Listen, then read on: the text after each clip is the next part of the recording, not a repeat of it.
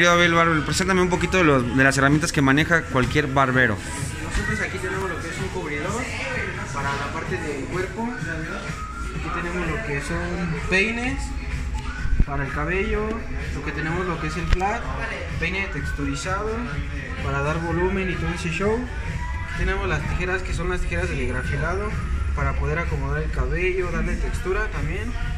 Lo que las tijeras, las tijeras este, para cortar en la parte de arriba, lo que son los aumentos, lo que es el portanavajas, lo que también es el peine este, para limpiar los cabellitos que se dan ahí, lo que es el, el bledo.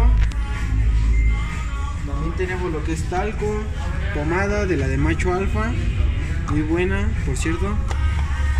Este, crema para texturizar, también tenemos lo que es el shaving para, el rasurado, el after para después del rasurado. Tenemos spray también para darle fijación. Por supuesto nunca falta el cool hair, que es para desinfectar todo, todas las máquinas. Por último el atomizador. Ok, y todas estas herramientas las ocupas, es muchísimo. El bote rojo, ¿para qué lo ocupas? Cuéntanos un poquito, Abel. El bote rojo lo ocupamos para las navajas, porque si lo echamos a la basura, los, este, los que recogen la basura luego se pueden llegar a cortar y contraer enfermedades. Y eso es muy malo. Aquí tenemos lo que es las, son las máquinas. Lo que tenemos es el trimmer y la máquina. Este es para delinear y este es para el corte.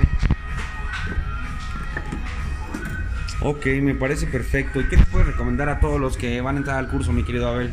que le echen muchas ganas y que, que se aferren a sus sueños porque si no lo hacen no van a hacer nada.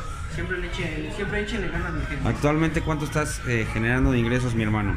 Pues antes ganaba muy poco y ahorita estoy generando arriba de los dos mil pesos, tres mil pesos más o menos.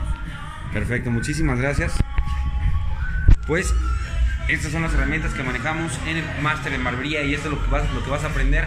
Así es que lánzate con nosotros y recuerda inscribirte. Ya por ahí no solamente nos queda algún un solo lugar eh, con horario de 5 a 7 y lo que tenemos eh, empezamos para domingo y matutino de lunes, miércoles y viernes de 10 de la mañana a 12 del día. Así es que ponte guapo en el rincón del guapo con Abel Barber.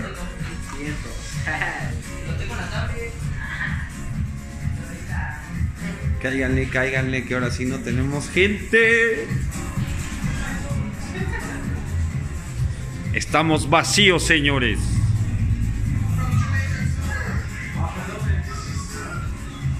Is this love?